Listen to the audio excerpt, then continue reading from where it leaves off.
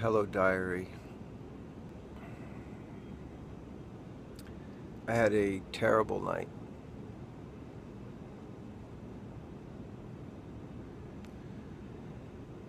I, uh,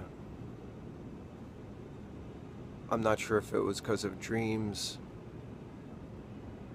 or all the country music I've been listening to, which I love. But a couple of tunes got got bombed in my brain and all I could it was all I could do to not keep repeating the words of some of the, a couple country tunes as I was fighting off memories.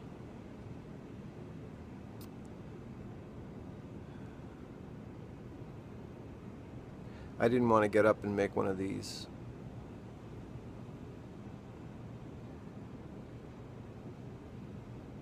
I couldn't go anywhere. It was like being frozen. I remember one of my birthdays, not the last, but the one before. My wife and daughter were taking me to this Belgian place, and my I sat down with my wife Jenny and Sophia had arranged to get Forrest. Blew my mind. And he was out on the street, evidently avoiding being seen by me as I went into the little place. And then she said, I'll be right back and came in with him. And I burst into tears.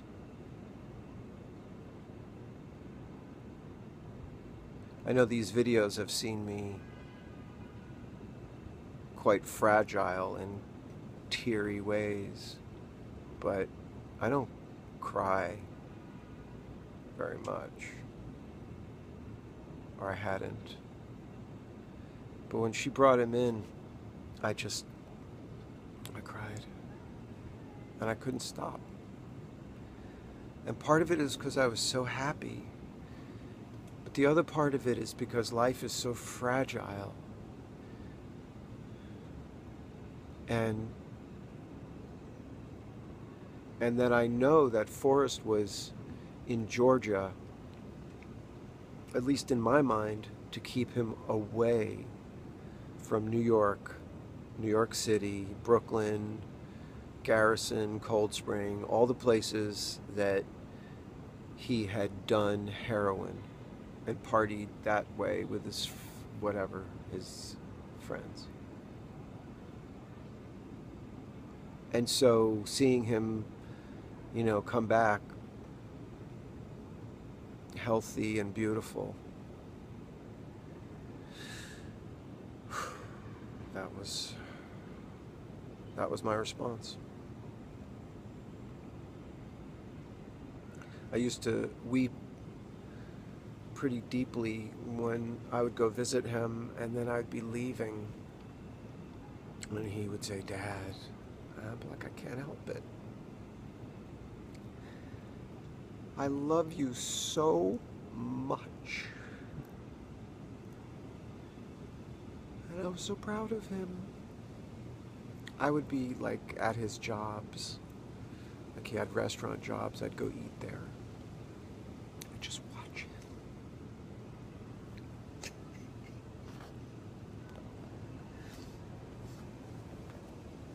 Sorry. I wanted to say something about karma. I do not believe in a God or in any of the gods. I do really believe those are all made up by human beings who are trying to explain.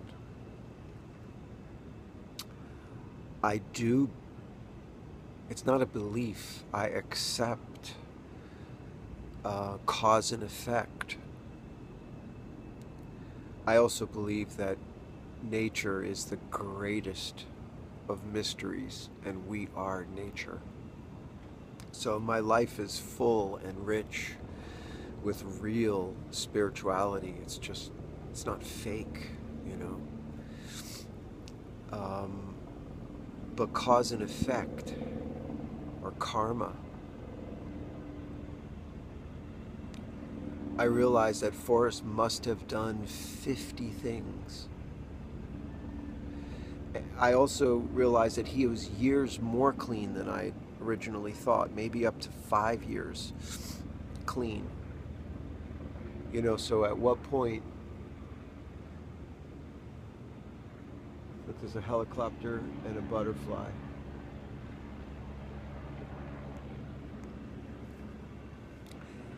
At what point did he decide I'm going to do this? And I've been studying this gentleman's book who writes about violence. And he said to predict violence, there, there are predictors. You know, to, to find out when someone is born or when they're pulling the trigger, both those things are not as relevant or as useful as before he pulls the trigger, before he gets to the place where violence is. Um, and I've just been replacing the word violence with the word heroin.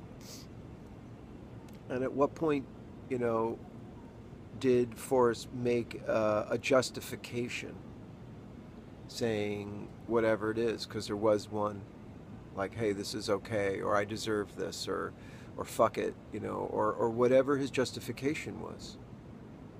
Like, I've been so good for so long, I'm going to just quietly party, which is how we all m- more or less think this went down.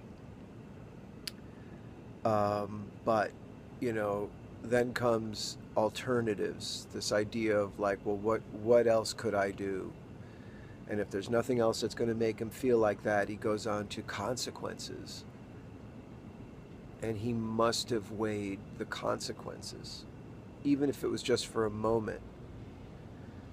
And this is the part that's really difficult to me that with everything going for him, and all the people that loved him. And I know he wasn't expecting to die. At least I don't think he was. Unless I get into cosmic whatever, you know. Let's just say a 23 year old who puts his headphones in, lays down on the bed after he shoots up to listen to music after hanging with his roommates, has school the next day. I, I don't know. I don't understand it. I don't understand why why he would do that. But I don't think he wanted wanted to die.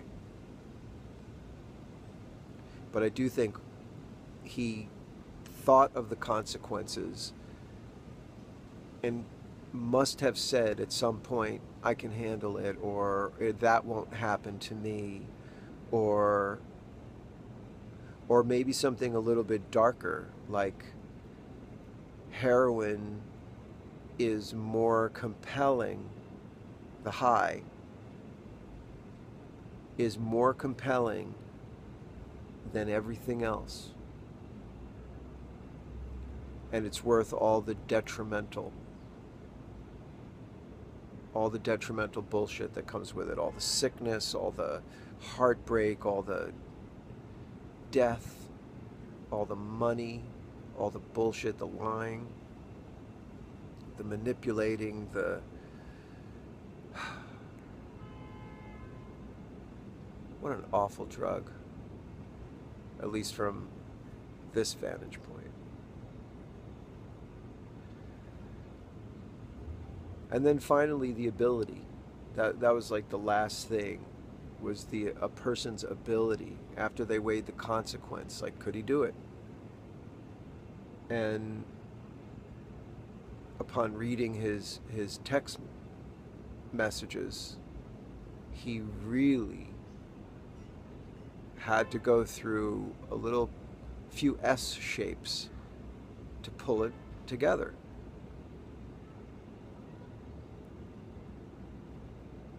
So all of these things led to my son's death.